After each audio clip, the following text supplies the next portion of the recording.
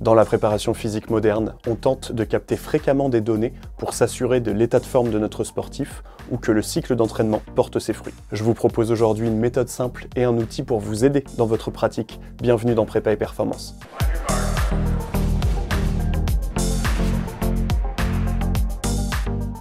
La donnée est au cœur du processus d'entraînement actuel.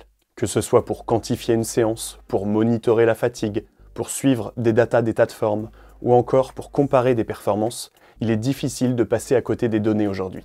Et grâce à la technologie, c'est d'autant plus de capteurs à disposition du grand public. Le grand défi qui en découle va être la centralisation et le traitement de toutes ces informations pour en tirer quelque chose. Et c'est bien là que ça se gâte, puisqu'il s'agit pour le haut niveau de milliers d'informations quotidiennes. Et si c'est pour se noyer dans les informations, c'est parfois plus simple, pour l'instant, d'en mettre de côté. Sur Prépa et Performance, nous allons plutôt la jouer modeste. Mais je suis persuadé que le suivi d'indicateurs simples peut être une aide précieuse pour l'entraînement. Et qui dit suivi simple, dit outil simple pour y parvenir. Aujourd'hui, je vous propose un document Excel permettant de suivre des données et d'avoir une visualisation claire de leur évolution. Comme d'habitude, vous pourrez le télécharger sur le groupe d'échange Facebook de Prépa et Performance. Vous trouverez l'ensemble des liens en description de cette vidéo. L'idée ici, c'est d'utiliser des facteurs quotidiens, comme par exemple les quatre facteurs bien-être que nous avions vus dans une vidéo, un RPE de séance, ou encore un indicateur de variabilité cardiaque comme un RMSSD, nous en reparlerons prochainement sur la chaîne, et de les surveiller à l'aide d'une carte de contrôle individuelle.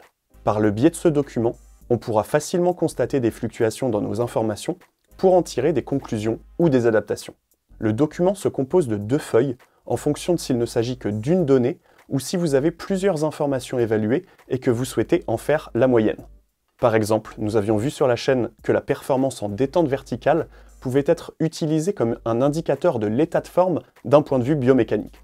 Pour ceux qui n'auraient pas vu cette vidéo, je vous renvoie vers elle pour mieux comprendre la mise en place d'une telle méthode. Eh bien ici, vous pourrez utiliser cette feuille pour suivre ce facteur au quotidien. Si au contraire, vous ne souhaitez suivre qu'une seule donnée, comme par exemple la variabilité de la fréquence cardiaque, vous pourrez utiliser la première feuille. Vous n'aurez qu'à renseigner la date ainsi que la valeur du jour. Une fois plusieurs valeurs recueillies, le document proposera automatiquement des bornes supérieures et inférieures calculées sur la base d'un et de deux écarts types. Vous pourrez l'interpréter comme le fait qu'au-delà d'un écart type, on peut penser qu'il y a une fluctuation de notre valeur du jour, et au-delà de deux écarts types, on peut en être sûr. On considère mathématiquement pour des valeurs normalement distribuées que la majeure partie des informations se trouve dans la marge d'un écart type. Donc ici, si celle-ci s'en éloigne, elle est à signaler. Bien évidemment, c'est un résumé très grossier que je vous fais là, puisque tout dépendra du nombre de données que vous avez captées en amont, de la qualité de celle-ci, etc mais ce sera un outil facilement interprétable visuellement. Vous l'aurez compris, l'intérêt d'un tel outil est de faciliter la visualisation et l'interprétation de données simples.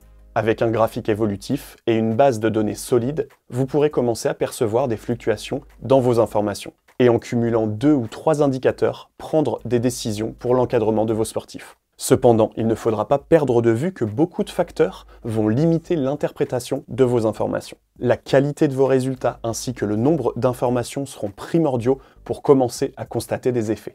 Par exemple, si je souhaite simplement faire un pré- et post-test d'une valeur de détente verticale pour constater l'impact du cycle d'entraînement sur mon sportif, ce document n'aura aucun sens. Mais si vous souhaitez suivre des données quotidiennes, on considère mathématiquement qu'à partir de 10 données, la carte de contrôle par écart type est utilisable.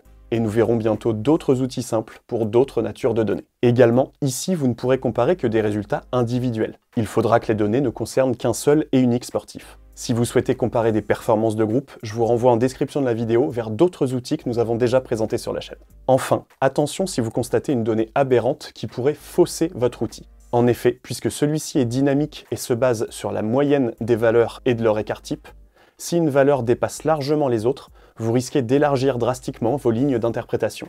Dans le cas où vous constatez une valeur très éloignée et qui ne vous paraît pas être réelle, je vous invite à la supprimer directement. Dans le document, pensez bien à adapter la légende du graphique à la nature des données que vous renseignerez. Par exemple, ici, s'agissant de pulsations cardiaques, je n'ai pas d'intérêt de laisser les valeurs inférieures à 40 pulsations, puisqu'il est très peu probable, et ça serait inquiétant, que mon sportif passe en dessous de cette valeur. On n'a pas tous le plaisir d'encadrer Martin Fourcade. Pour ce faire, vous n'avez qu'à double-cliquer sur l'échelle de gauche et dans le tableau borner en fonction de vos besoins. Vous obtiendrez une vue plus précise et qui mettra mieux en valeur les fluctuations. En conclusion, on peut dire que suivre des données quotidiennes avec une carte de contrôle par écart type est intéressant. Ça nous permettra de constater des fluctuations et d'adapter notre prise en charge en fonction de ces informations. Et ça facilitera grandement le fait d'adapter et d'individualiser le contenu d'entraînement à nos sportifs. C'est tout pour aujourd'hui, j'espère que cette vidéo et ce document pourront vous être utiles. Comme d'habitude, pour nous soutenir, je vous invite à liker, commenter et partager cette vidéo. Et pour ceux qui peuvent se le permettre, vous pouvez rejoindre la chaîne par un don financier pour nous aider à grandir. On se retrouve dès la semaine prochaine pour du contenu d'entraînement, et d'ici là, entraînez-vous bien. Salut